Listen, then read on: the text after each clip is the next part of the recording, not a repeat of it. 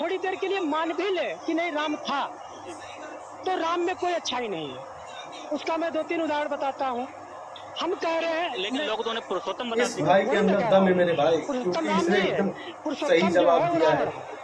जो देना चाहिए जो उसके समझ में था वो उसने जवाब दिया। अगर किसी जो की बहन को उसने जानकारी लिया उसके हिसाब से ही जवाब है कि अपनी छेड़ी हुई बहन का बदला नहीं लेगा बताइए।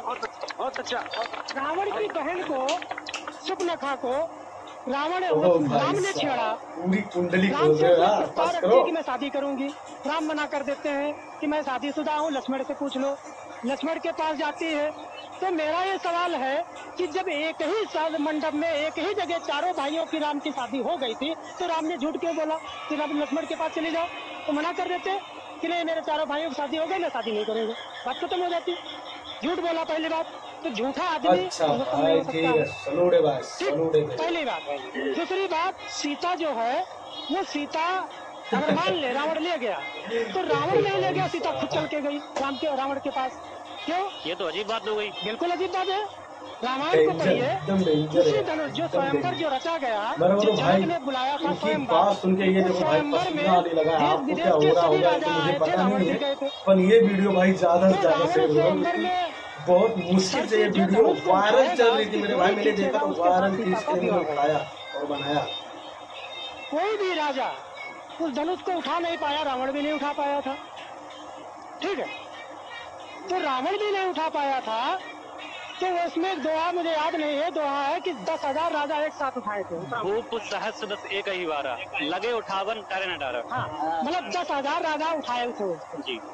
तो मेरा ये सवाल है दस हज़ार लोगों को खड़ा करिए। आपको ये वीडियो पसंद आई दो तो ज़्यादा से ज़्यादा शेयर करना। हमारे इस चैनल पे बने रहना। कम से कम तीन किलोमीटर की लाइन तक बने। रहना दोस्तों तो वीडियो में बहुत सच्चाई रहती है। हम किसी के धर्म के टारगेट करके वीडियो नहीं बनाते भाई। जो अच्छा करता है उसके लिए बनाते हैं जो बुरा करता है उसके लिए भी बनाते हैं। और जो हिंदू मुस्लिम करता है ना उसके लिए भी हम जवाब देते हैं मेरे भाई। फिर करें काम मान लो करें दस हज़ार राजा उठा बात लेते है। मान लो थोड़ी देर कल्पना करें दस हज़ार राजा उठा लेते सीता की शादी किसके साथ होती? हमें बताओ।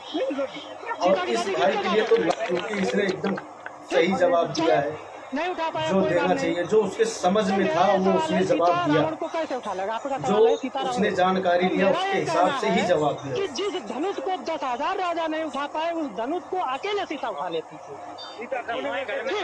जिस धनुष को रावण नहीं उठा पाया उस धनुष को अकेले सीता उठा लेती कुंडली खोल रहे हो ना अंदर शक्ति थी। तो रावण कमज़ोर हो रहा है भाई साहब सवाल पूरा हो जाने दीजिए। जो जो रावण जो कमज़ोर था सीता बलशाली थी तो बलशाली को रावण कमज़ोर रावण उठा कैसे ले गया? हम कह रहे आज आजमा लो कोई महिला ताकतवर हो किसी छेड़ को दिखाए कोई आदमी अगर कमज़ोर पुरुष को छेड़ सकता है ताकतवर महिला। बहुत सी ऐसी महिला मैंने घटना अच्छा देखी अपनी है कमज़ोर है। ठीक है। तो मेरा कहने मतलब कमज़ोर रावण वो जो बलशाली सीता को उठा कैसे लो मेरा सवाल ये।